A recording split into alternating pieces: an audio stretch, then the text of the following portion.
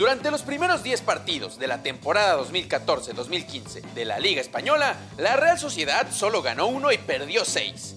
En los más recientes 10 encuentros, ganó 4 y solo perdió 2, quedando su marco imbatido en 3 de los últimos 4.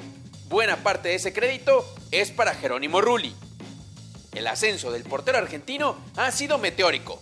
Jero, que de niño era un admirador de Chilabert, es titular en San Sebastián a sus 22 años, a solo dos de haber debutado en Primera División con Estudiantes de La Plata, equipo con el que por cierto logró un récord de imbatibilidad. Bueno, la verdad que se dio todo muy rápido, ¿no? Eh, debutar en Estudiantes con solo 20 años, eh, que al año y medio tenga la transferencia a un club europeo. Y Chilaver era mi ídolo porque era el primer arquero cuando yo era chiquito que metía goles. Pero no todo fue tan sencillo. Apenas en su debut con los Suri Urdin en agosto pasado, Rulli se rompió el quinto metatarsiano, lo que lo mandó tres meses a rehabilitación.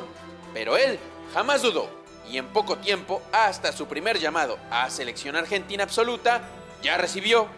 Increíble, ¿no? Eh, una experiencia única, eh, tanto de aprender como el patón como de chiquito fue fue grandioso y compartir vestuario con jugadores de semejante magnitud lo mismo, así que son cosas que, pasan una vez en la vida y ojalá tenga la posibilidad de que me siga pasando y para eso tengo que seguir haciendo las cosas como las estoy haciendo en la Real.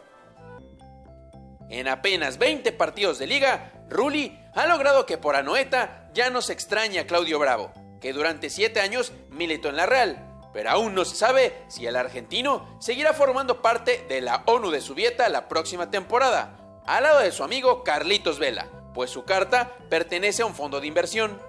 De Jerónimo me dice, como todos me dicen Jero, él me dice Nimo, entonces ahí, ahí me quedó. Yo le digo Carlito, le digo V, y Carlito es un jugador increíble mi pase pertenece a un grupo y hasta que el grupo y la Real no se pongan de acuerdo uno no, puede eh, no puede ver dónde está su futuro, digamos, ¿no? Pero ojalá y todo se solucione de la mejor manera para que yo pueda continuar aquí.